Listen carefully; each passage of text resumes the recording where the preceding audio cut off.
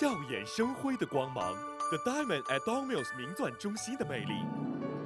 位于多伦多最富裕的地区，Don Mills 跟 York Mills 是生意以及投资的金钻良机。好想喺咁高格调嘅地区开专门店。那么重要的约会，怎少得了营商有道、精明投资的您呢？The Diamond at Don Mills 名钻中心六月十八号公开发售，查询热线四一六三零零二零零零。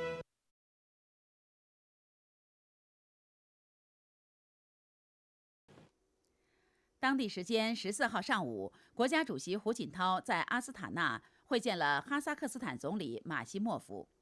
胡锦涛就加强中哈务实合作提出六点建议：一是加强规划和指导，双方要适时启动两国总理定期会晤机制，加强中哈合作委员会工作；二是加强贸易、投资、金融合作，努力实现二零一五年两国贸易额达到四百亿美元目标。研究商签双边自由贸易协定，鼓励和保护相互投资，推动双边贸易本币结算和货币互换。三是深化能源领域合作，确保既有石油、天然气管道安全运营，积极推进中哈原油、天然气管道建设。四是加强非资源领域合作，认真落实两国非资源经济领域合作规划，加紧实施双方商定的代表性项目。中方愿同哈方开展技术密集、节能环保等领域的产业合作。五是扩大交通运输合作，加强区域公路、铁路、光缆等互联互通建设。六是深化农业领域合作，推动建立农产品快速通关绿色通道。马西莫夫表示，哈方高度评价哈中关系发展，愿意同中方一道努力，认真落实两国元首达成的共识。进一步拓展科技创新、铁路建设、能源、金融等各领域务实合作。中国作为联合国安理会常任理事国及二十国集团成员，在国际和地区事务中发挥着重要建设性作用。哈方愿意同中方加强磋商和协调。当天下午，胡锦涛主席在阿斯塔纳会见了塔吉克斯坦总统拉赫蒙。胡锦涛指出。一年来，中塔睦邻友好合作关系又取得新的进展，两国政治互信不断增强，各领域合作不断扩大，在联合国、上海合作组织等多边框架内开展了良好合作。中方高度重视发展对塔关系，愿做塔吉克斯坦最可信赖的好邻居、好伙伴、好朋友。胡锦涛指出，中塔务实合作互补性强，前景广阔。中方愿同塔方一道，深化经贸、基础设施建设、采矿、通信、农业等领域合作，要落实和拓展双方合作大项目，继续加强中塔卡拉苏阔勒买口岸的基础设施建设，加强在农业生产、加工和技术等方面的交流合作，加强两国农业部门交流合作，深化地方合作。落实好关于加强中国新疆同塔吉克斯坦合作的政府间协议，将中塔地方合作提升到新的水平。胡锦涛指出，作为友好近邻，中方真诚希望中亚地区持久和平、共同繁荣，愿同塔吉克斯坦在内的地区各国一道为此做出不懈努力。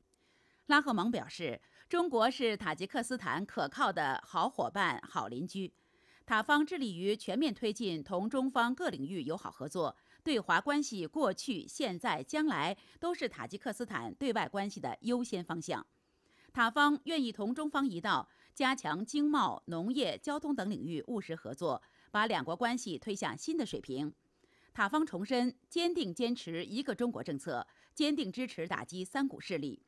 令计划、王沪宁、戴秉国等参加上述活动。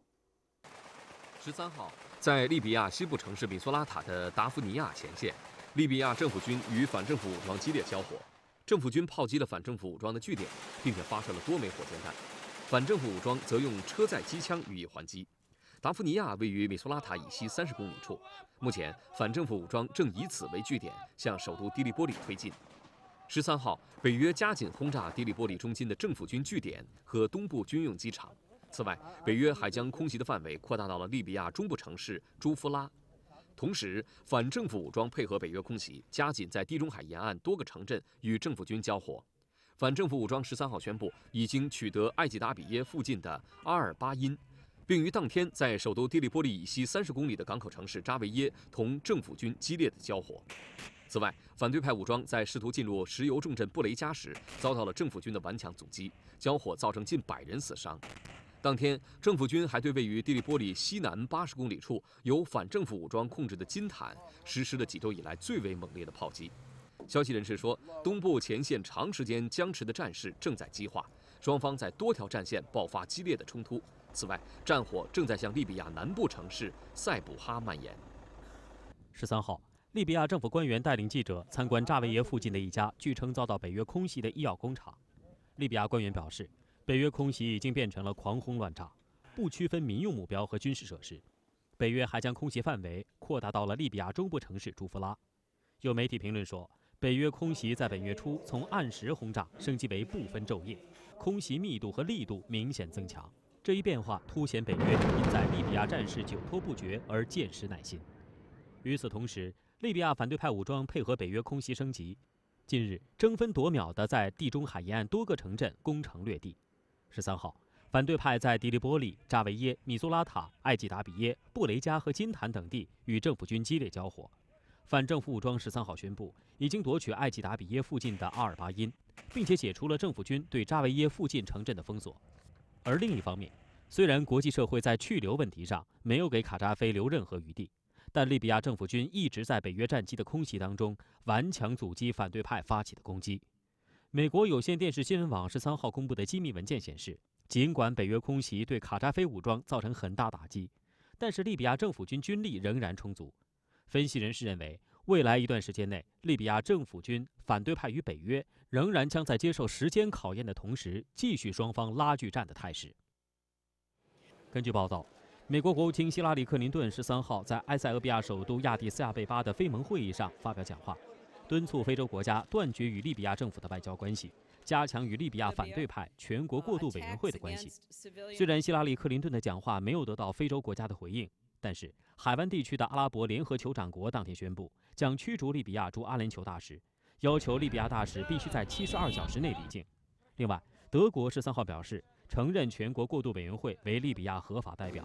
阿联酋和德国的举动无疑进一步挤压了利比亚的外交生存空间。今年三月空袭开始以来，法国、英国、德国等国先后宣布承认反对派的全国过渡委员会为利比亚唯一合法代表。阿拉伯国家联盟等国际组织也已经宣称卡扎菲政权失去合法性，甚至连此前强烈批评北约军事行动的俄罗斯也转变立场，呼吁卡扎菲下台。尽管外交上陷入孤立无援的绝境，卡扎菲立场依然强硬，近来更是频繁发出誓死战斗到底的信号。观察人士分析，在卡扎菲下台这个先决条件上，双方立场截然相反。卡扎菲与北约以及反对派的对抗仍然将继续下去。在非盟倡议下，联合国安理会将于六月十五号在纽约举行利比亚问题会议，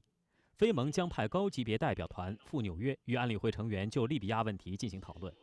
中国外交部发言人洪磊表示，为支持非盟政治解决利比亚问题的努力，中国外交部副部长翟俊将率团与会。中方希望会议能够凝聚国际共识，推动有关各方尽快停火，早日实现利比亚问题的政治解决。